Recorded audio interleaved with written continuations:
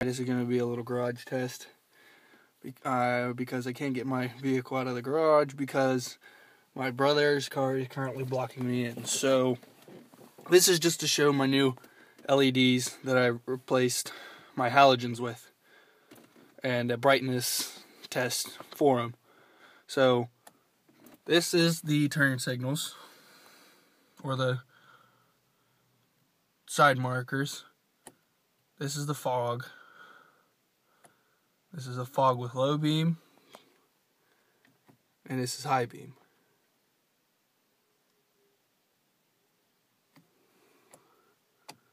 Nothing on now. Now this is going to be the LEDs.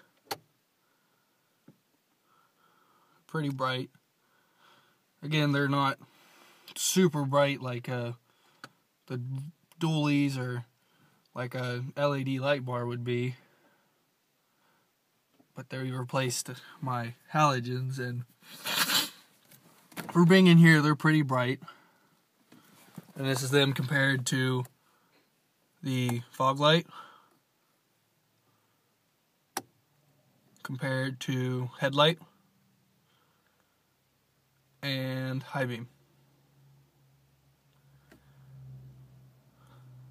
So the headlights and high beams are fairly bright, brighter than these, but these aren't necessarily meant for long distance lighting like the headlights are. These are meant for close range, sort of have a flood pattern to kind of brighten everything around you.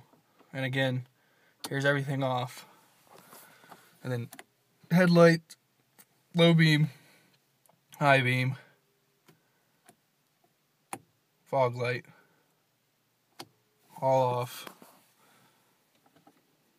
LEDs.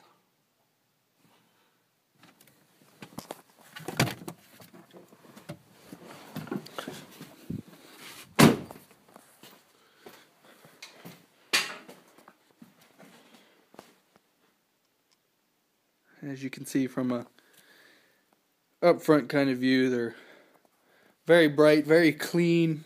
The camera's probably not doing it any justice, but these are very clean, very white LEDs that we have.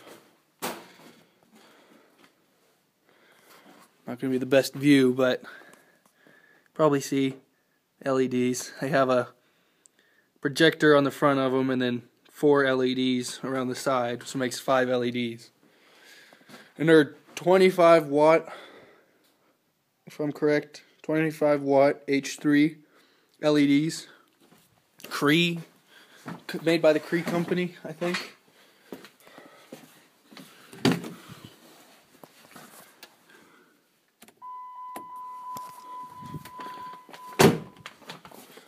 Here's a quick view with everything on.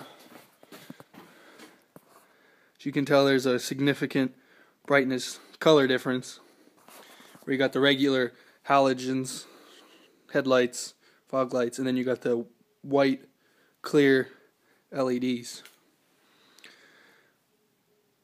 Alright, thanks for watching, guys.